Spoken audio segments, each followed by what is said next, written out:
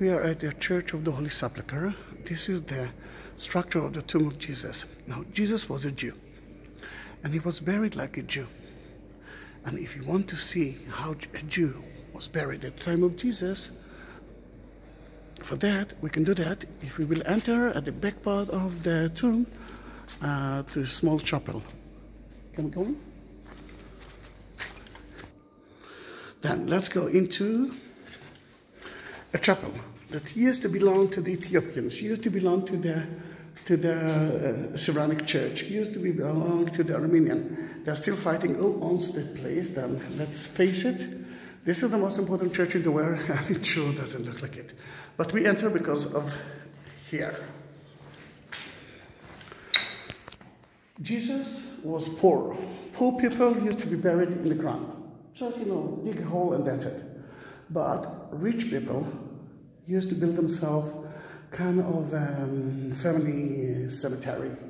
Um, and used, at, at, the time of Jesus, it used to be a cave. Then, if you look at the cave inside, and this is a little bit difficult because of no light, but there are niches in the cave. When a Jew will die, let's say today, a religious Jew, they will bury him on the same day, just like they buried Jesus. Before they will bury the dead, they will purify the body. And at the entrance to the church, if you notice, there is kind of a stall there, kind of a place that they purified the body of Jesus after he died. That will happen to every Jew in Israel and, and the world, actually.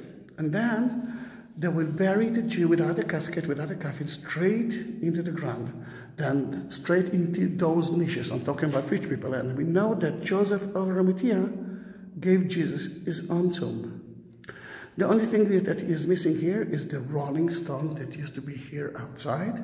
And if you go in, believe me, look to the right, you see that they're actually covering the entrance to the niches, to the tomb itself. And they used to bury the dead with the legs next to the exit. Because if something will happen and you will wake up, you will be able to go out from uh, the niches. This is a nightmare for me. Then, if that in that case, we already started the movie and say that the tomb of Jesus is outside, then who owns that tomb and why they didn't destroy it?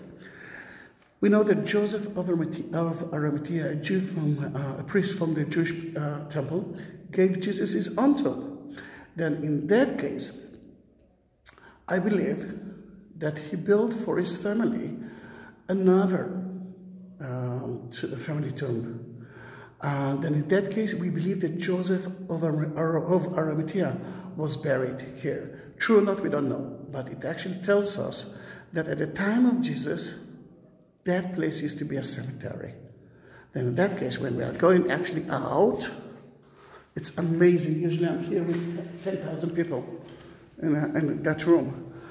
Then when we're going out, we can believe that that was the original uh, cave. Remember, we're talking about a cave um, that was, was supposed to use by the family of Joseph of Arimathea, but he gave Jesus his own tomb.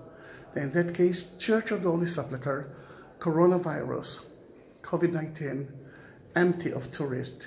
So sad, so sad. It's um, June 28, 2020.